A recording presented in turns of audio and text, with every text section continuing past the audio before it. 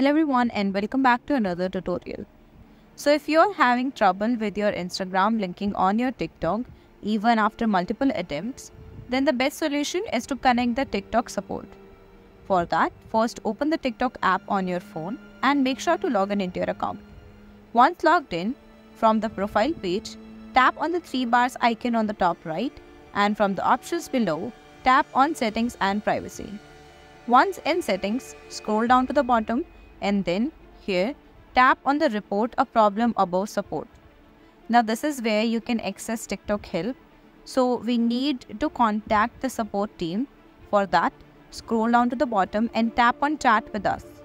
Now here, write a message like I'm having issue with not being able to link my Instagram profile to my TikTok account. Please fix this for me. Now, once you send this text, the TikTok team will be prompted by the chat bot and follow up with on screen steps to chat with an executive, and they will help you with the same. So, this is how you can resolve Instagram not linking on your Instagram profile. I hope this video helped you out.